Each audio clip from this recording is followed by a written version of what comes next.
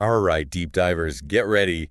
We're diving into the world of puppies today. Always fun. We're taking that dog talk episode you sent Yeah. and figuring out how to turn our homes into, well, puppy wonderlands. And you know what? That's important. A lot of new puppy parents, they're just so excited to bring that new puppy home. I get it. They completely forget to actually get their house ready. Yeah, it's like you wouldn't bring a newborn home from the hospital and hand them a hammer. Right. Dog talk really, really hit on this whole idea of you got to think like a puppy to really puppy-proof your home. And that's not easy No. that- because, you know, we just we look at a dangling cord, we know, okay, we see that every day, but a puppy, they see something to tug on, right? Oh, absolutely. Dog talk really opened my eyes to how, like, what we see is just ordinary stuff. Right. To them, it's like this big adventure waiting to happen. It's true. And those electrical cords, oh my gosh. Yeah, big one. They don't, uh, you know, puppies don't have any concept of electrocution. So those cords are just like a chew toy to them. It's like a noodle. Exactly. Cover them up, use those cord covers, tuck them away. You know, one thing I thought was genius that they mentioned on Dog Talk is bitter apple spray. Oh, yeah, yeah. Harmless to dogs, but they hate the taste. It's like puppy kryptonite. Exactly. Anything you don't want them chewing on, Let's spray it. you spray it and they're like, nope, not touching that. See ya. Okay, let's talk about this. Houseplants. This one really got me Oh, yeah. because I, I am a houseplant enthusiast. Okay. I love having plants around, Yeah. but dog talk really made me question some of my choices. Well, yeah, because some of those plants we think, oh, they're natural, they're fine. Right, exactly. But like aloe vera, peace lilies, those can be toxic to dog. I had no idea. And if you're not sure, do a quick search online. There's so many resources you can find pet safe plants. Adding pet safe plant guide to my shopping list. Yeah. Okay, then there are those hazards that honestly never would have crossed my mind. Like like my junk drawer. Apparently, it's a puppy death trap. Oh, yeah, yeah. Buttons, batteries, anything small. Exactly. Choking hazard. Choking hazard. Get on your hands and knees and do a serious floor sweep. That was like the number one takeaway from Dog Talk. It's amazing what you find when you actually get down on their level. It is. And speaking of things we don't think about, that cabinet under the sink. Oh, yeah. Cleaning supplies, It's like a chemical amusement park. detergents, anything that could be toxic. Get some childproof locks. Better to be safe than sorry. Absolutely. And it's not just the everyday cleaners. Right. Dog talk also reminded me about fertilizers, gardening chemicals, Oh, right. things that we maybe keep in the garage or the shed, Right, which a puppy can get into.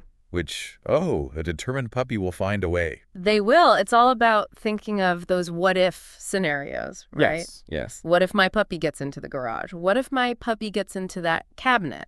It's those things we don't always think about. Dog talk was good for that. They really were. Mm. So we've talked about hazards, but what about making our homes comfy for our pups? You know, those safe havens. Dog Talk talked about that. They did. They did. And it's about, well, you got to give your puppy freedom, let them explore, but you also have to set some boundaries, right? Right. Tired puppy's a good puppy. Yeah. Oh, absolutely. Hmm. And speaking of tired puppies, Dog Talk mentioned play areas. Is that literally just like sectioning off a spot and making it a puppy play zone? Yeah. Make it intentional. You can use baby gates or those exercise pens. Give them a clear boundary, Okay. Okay. a way they feel like they have their own little space. Their own little puppy apartment. Speaking of which, they also talked about crates.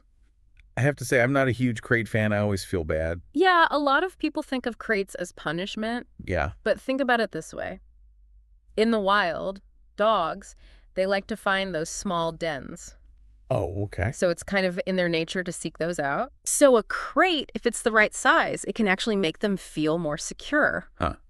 It's like their little haven. Exactly, exactly. And you know, those first few months, everything is so new to them. Heck, overwhelming. So having that little spot that's theirs can really help with that anxiety. That makes a lot of sense. So it's not about confining them, it's about giving them that like home base. Exactly. Especially when we can't keep an eye on them 24/7, which Dog Talk also mentioned puppy proofing rooms, which kind of the same concept, right? Same concept. You basically take all those precautions we talked about, but you apply them to, you know, maybe it's a spare bedroom, maybe it's a laundry room, Okay. Yeah. and it's just completely safe. A little puppy oasis. Exactly, exactly. That's perfect for when you know you can't be there to redirect every chewing adventure. Yes. Okay, so we've talked about making spaces for our pups. What about our spaces, our furniture? Dog Talk really stressed how important it is to protect those couches. Yes, because let's face it, puppies and furniture, Recipe for disaster. total disaster, especially those corners. Dog talk mentioned corner guards, or even that bitter apple spray we talked about. Yeah, yeah, on anything, really. Anything. And washable rugs. Essential. Essential. Accidents happen. Right. Right. And you want to be prepared. Oh, for sure. They also mentioned baby gates, which I thought was interesting, not just to block off rooms, but like to kind of section off areas within a room. Absolutely. Maybe you have a really, I don't know, an antique table. you don't want the puppy anywhere near it. Baby gate is perfect for that. Strategic placement. So we've talked about inside. What about outside?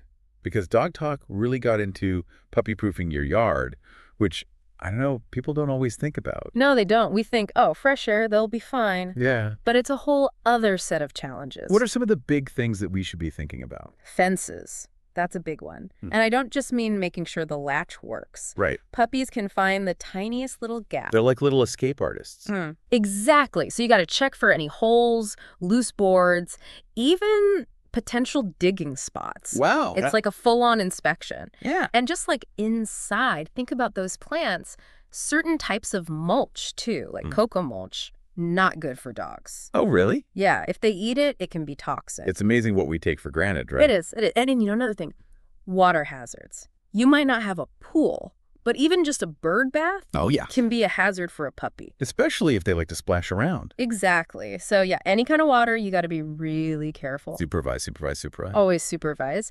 And here's something else, you know, we might not think about this, but Dog Talk mentioned tools, gardening equipment, Oh, like rakes, hoses. all that stuff. Yeah, yeah. A puppy could get tangled, could get hurt. So got to be mindful of that. It's like Dog Talk gave us those puppy goggles Exactly. To see the world through their eyes. to see all the dangers.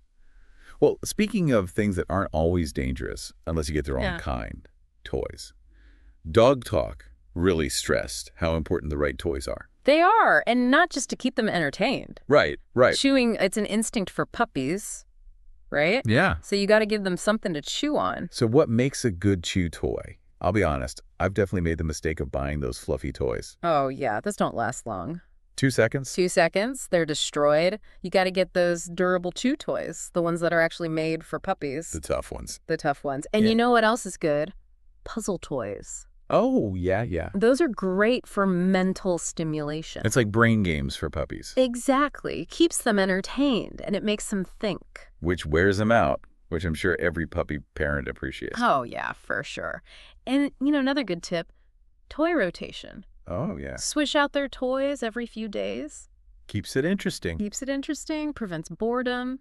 They're like little kids. They get bored with the same old toys. They do, they do. Wow. Okay, so we've covered a lot today. Hazards, safe spaces, toys, the great outdoors.